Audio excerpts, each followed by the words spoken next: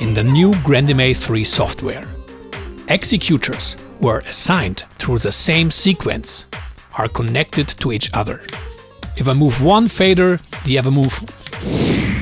All executor assigned from the same sequence are connected together. These both sequences are buddies. I recognize that on this symbol.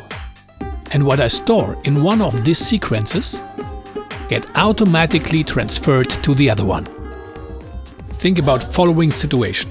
We have a big show with moving lights and media servers in one show. And we want to have just one cue list for all of that. It could be that inside of the programming part we have two different operators. One is programming the media server and the other one is programming the moving lights. Maybe they are not working in the same cue at the same time. Or that we can create a buddy. And what else one of the programmer is programming, it directly gets transferred in the main cue list. And for that, that everyone just control his own part, it's able to use worlds. Here I have a sequence in my sequence pool connected to an executor. It's possible to connect the same sequence to a second executor just by assigning. Now I recognize that these both executors are connected. The background is clear. If you start a show and on the first show page you have an executor just for a special light, maybe for the bars or something. Then you step through your show, page by page. And when you reach the last page, at the end of the show, you have assigned the same sequence there and you can bring it down. So all executor assigned from the same sequence are connected together.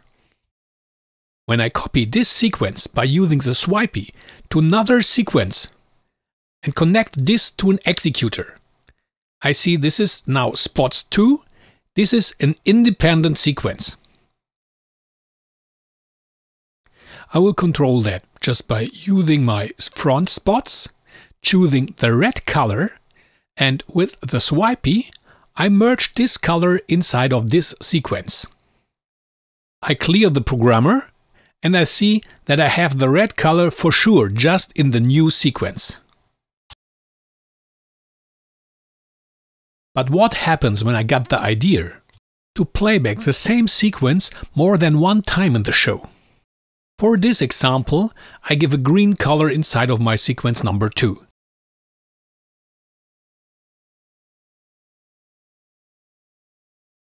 And now I take my sequence number 2 and I assign it to another place inside of my sequence pool. And this new sequence I can now assign to another executor. That means I have now two executors that are working independent from each other but they're connected over a reference sequence. If I now modify the sequence number 3, maybe by choosing a different color and merge that inside of the sequence number 3, I recognize that this color is also in sequence number 2.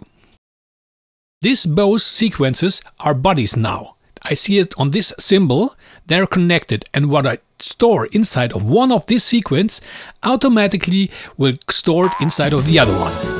If you like to know more about sequences, buddies or how this world filters functions is working, visit my homepage at fiets.de. My name is Fiets and thank you for watching.